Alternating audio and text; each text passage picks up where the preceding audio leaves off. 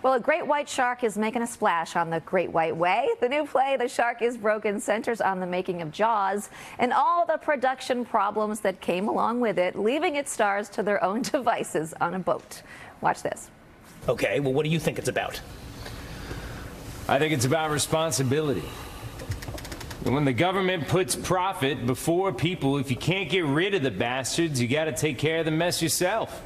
Even if it scares you for the good of the community. Wow. Deep.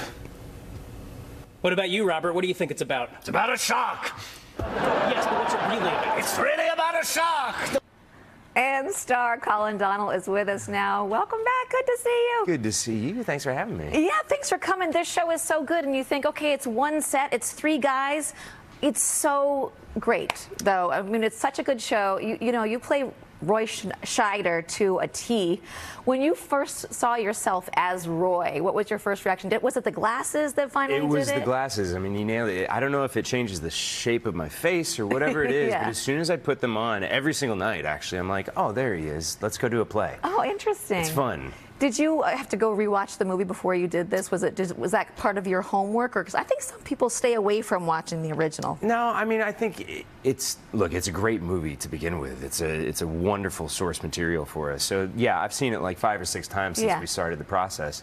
But it's we're not playing the actors as their characters Yeah. in the movie. So there was a lot of looking at.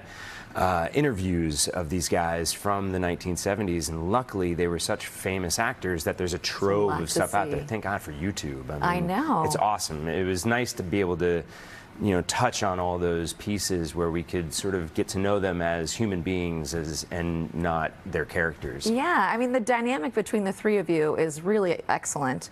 Um, how do you, what do you think Roy's role in this group of three men was?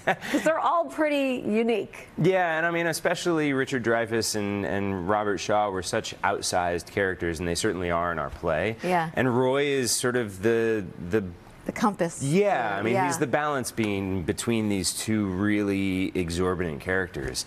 Uh, so it's tricky, but it's fun for me because I just get to be involved in every single moment of the play as much as I possibly can. And Yeah. I, I love all that reacting and, and just being present with the two of them. Yeah, because both of them are very big characters Yes. in this, but you hold your own as Roy, who's much more reserved.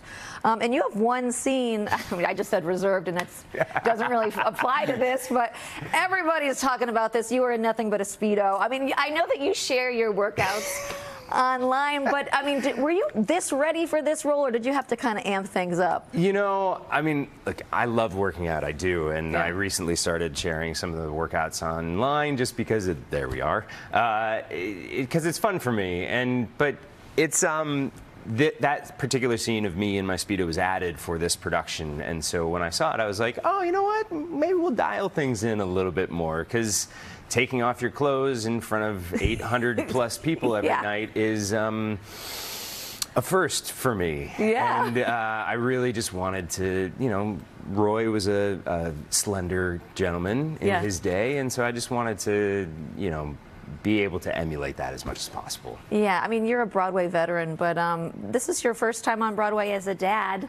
You know, you were just talking to me about this before we started this interview that it's kind of, you do think about that now that you're in this new schedule and you think, oh my God, I'm going to miss things, right? How has it been for you? I mean, I'm still learning, uh, and I will say that, you know, uh, it's such a huge credit to my wife, Patti Murin, who Yeah. of course you know. um, Who we love. yes, she is I know you so do, too. wonderful. Yeah, I do very, very much, and it, it, she is so supportive and takes on so much responsibility um, because I'm gone quite a bit, and Yeah. I, as I was just saying, like. I had a moment where I thought about all the bedtimes that I have to miss over the course of this run, and it's worth it. I love this show, and I worth it. love being here, and I love performing. Uh, but you do sort of think about, you know, what you're what you're missing at home. yeah, you make maybe you make choices differently after you have kids, but this was definitely definitely. worth it. It's Yes. such a good show. You can catch The Shark is Broken playing now at the Golden Theater. For tickets, head to thesharkisbroken.com. Colin, good to see you. Thank Good to you. see you.